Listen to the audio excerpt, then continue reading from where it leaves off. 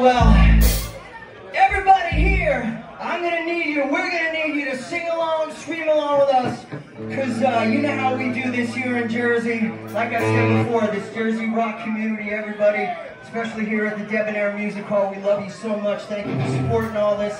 Scotty Du Bois for putting this on, and the guys in the band, because we got a long night ahead of us, so let's keep it up, because this ain't nothing but a good time.